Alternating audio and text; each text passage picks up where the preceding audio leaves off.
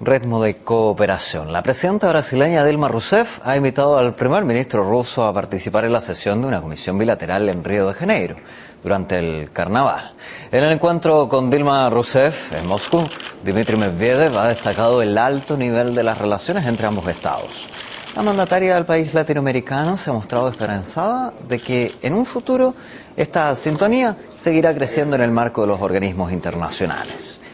Para concluir la reunión, Medvedev ha regalado a Rousseff un pequeño cofre decorado con imágenes tradicionales de Rusia en vísperas del cumpleaños de la mandataria.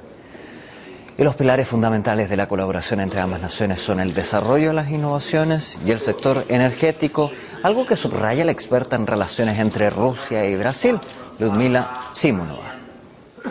Me parece que los temas relacionados con el desarrollo innovador, el desarrollo de la ciencia y tecnologías, con el apoyo de los productores nacionales, será una base para las negociaciones entre Rusia y Brasil. Creo que los temas de la colaboración en el ámbito energético, incluidas las fuentes alternativas de energía en el ámbito de nuevas tecnologías, biotecnologías, nanotecnologías, educación, serán los primeros temas de parte de Brasil sobre todo si tenemos en cuenta que el intercambio comercial con Brasil ha disminuido casi un 30% en la primera mitad del año corriente. Los temas energéticos siguen siendo los de prioridad en la colaboración entre ambos países. Y otro ámbito es sin duda el cósmico, o sea, investigaciones cósmicas, el lanzamiento conjunto de aparatos con los satélites brasileños, investigaciones conjuntas, etc.